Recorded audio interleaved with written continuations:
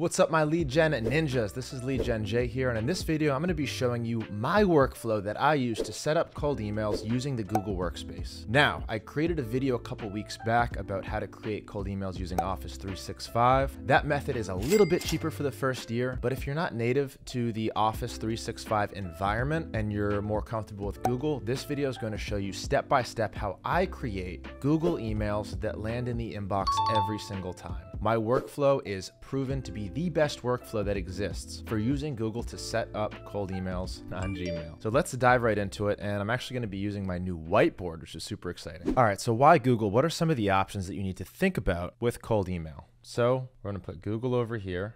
We're going to put Office 365 over here and other over here. Now, a lot of you like to experiment with things like private servers, which is possible. That's setting up your own email server. The problem with this is that once that server gets corrupted or uh, a trust flag gets put on it, you can no longer send emails from that server. So, Google and 365 no email provider in the world is going to stop an email coming in from Google or 365. These are the most trusted servers on the market, and they have a ton of different servers to rotate from. So, if we're talking about server trust, which is one of the main factors in setting up cold email, these Google and 365 are going to be the best ones. How much do they cost? So each of these costs $6 per month per, per sender. Now, if you saw my last video on 365, you'll know how to chop that $6 into a $2 per month for the first year. So you do save some money with 365. Now, one of the advantages to using Google over 365 is that most users are on Google. And what does that mean? If you upload a profile picture on Google, the end user will be able to see that profile picture and it instills a little bit more trust. This does not have the ability to add a picture. I will say in terms of workflow, these are about the same.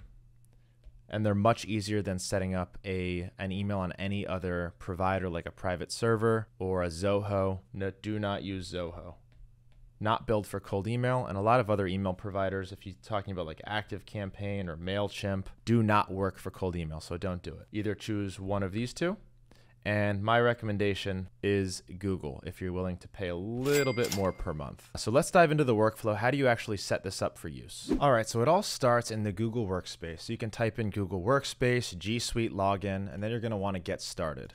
Now it's very important here that your Google Workspace is tied to your Google domains under the same email address. So you're going to enter your information and then it's going to ask you whether you already have a domain. Now, if you do, you can say yes, just make sure it's a Google domain. I'm going to go ahead and say no, and I'm going to go through the entire process with you. All right, awesome. So we found a domain that we're going to buy. We're going to say next, and then we're going to check out this domain. I'll see you once I've purchased the domain. All right, important to note here that when you're signing up, it's not going to give you that $6 option. So it's going to look like $12 per month per email. Sign up for this now, free for 14 days, and then you can downgrade after. But very important, it's not going to make you actually pay $12. You can downgrade when you're done. All right, once you're all signed up, you'll see this screen. Now, the admin console is where all the magic happens. This is where you can add add domains, add users, update pictures, and basically monitor all of your email sending accounts. All right, so quick tour of the Google admin section. Here you're gonna see users, you're gonna see domains, and on the left side is gonna be your navigation menu. Now the first thing that you're going to wanna do is change that subscription from $12 per month to $6 per month. And they don't make it easy to do this. So to change your subscription for that email, you're gonna come into billing, subscriptions, and then find that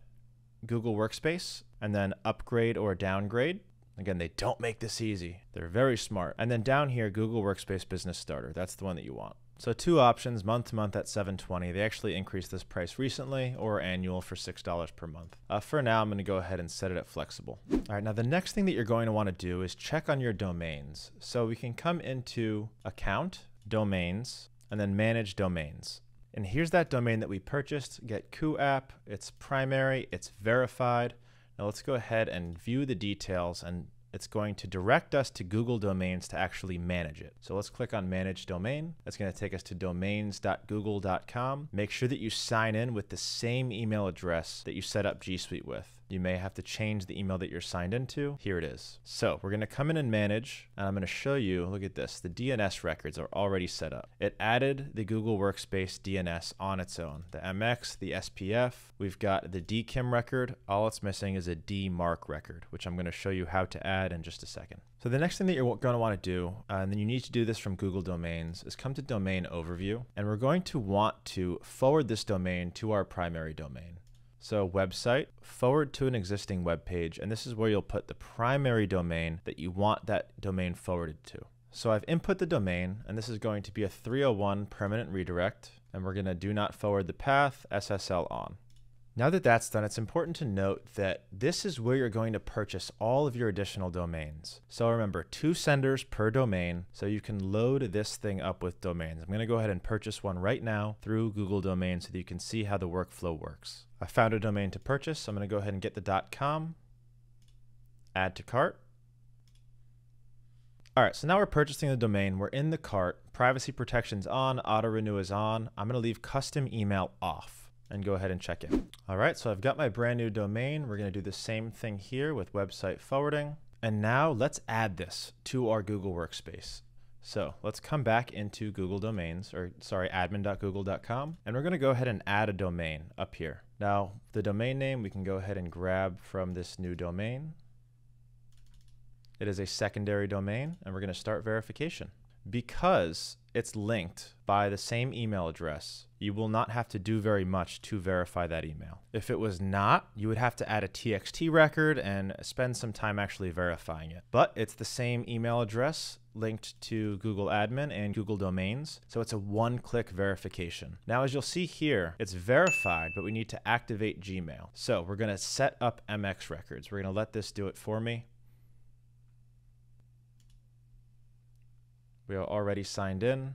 We're going to go ahead and connect once we uh, confirm that we're signed into Google Domains. And just like that, the records are linked. And now as you can see, Gmail has been activated. So now all we have to do to set up a new email account on this is add users. So I'm going to go ahead and add a user now, just so you can see just how easy this is. So this is where you can also add a profile picture. Uh, make sure that the correct dropdown is selected when you're managing multiple email accounts. You can select create any user for any domain here. All right, so we're gonna go ahead and add a new user and it's gonna automatically add this to our billing account. So that's all we essentially need to do. It is extremely powerful. I'm gonna go ahead and refresh now and we should have two email users. Here we go. Now we have two cold email accounts set up and ready to go, ready to start warming. Now we've discussed a lot of things here, setting up a Google Workspace account, creating users, adding domains, purchasing domains, how to downgrade your plan to that $6 per month. Now next I'm gonna show you how to add a DMARC record. It's one of the last things we need to do to edit this sender account, to edit the domain before it's ready to add to instantly to start warming. So I'm, I'm gonna speed through this part because I, I've discussed it in other videos. And once we're done adding that DMARC record, we're going to go into instantly and show you to, how to actually set this up to start warming.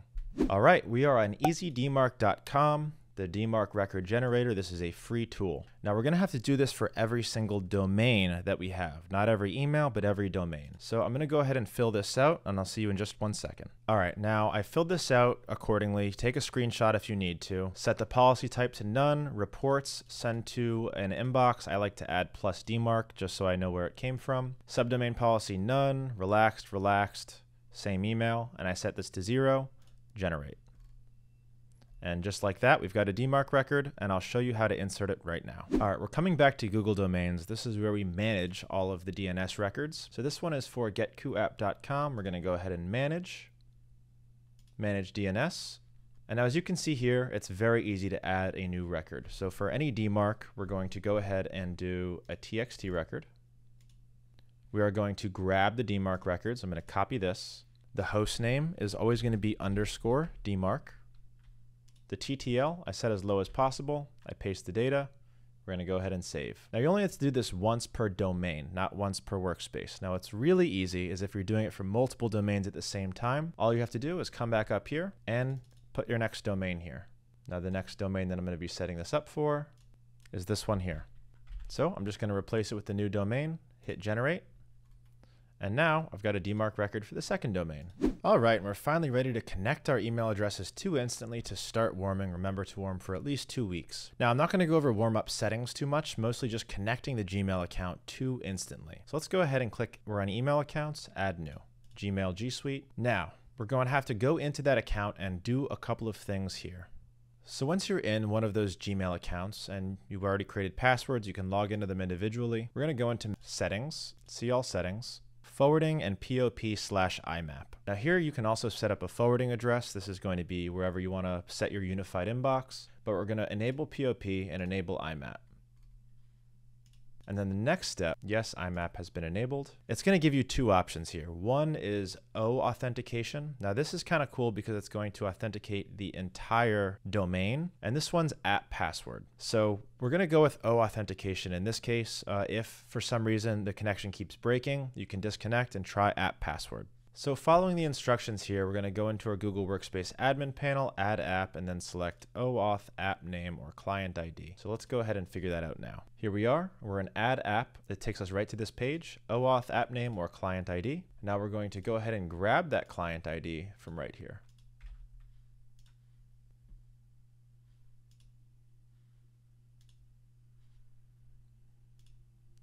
Go ahead and follow along the steps. All users trusted. And now let's go ahead and finish so that we can integrate all of those emails. Awesome. That is set. Let's make sure that it worked. All right, we have successfully linked our Gmail account. Now again, it's not on, it's not warming now. I'm gonna do all that in just a second. Be sure to watch my video on best warm up setting practices for cold email. And that's going to conclude the video. I hope you enjoyed this Google setup process. It is very easy. And actually, between this video, I scaled this up to four domains and eight senders in the matter of minutes. You can't do that with any other workflow or process. Now, with Google, you're going to spend a few more dollars, but it's going to be more trusted. You're likely going to be emailing mostly Gmail users, so it's native. It's going more to be more likely to go through, and they're going to see that profile picture, which is going to put you at a huge advantage. If you like this video, please like it so that you see more like this in your feed. And if you have friends who are working on their cold email, send this to them. And if you have questions or concerns, please drop it in the comments. I respond to every comment personally. Thank you so much. See you in the next video.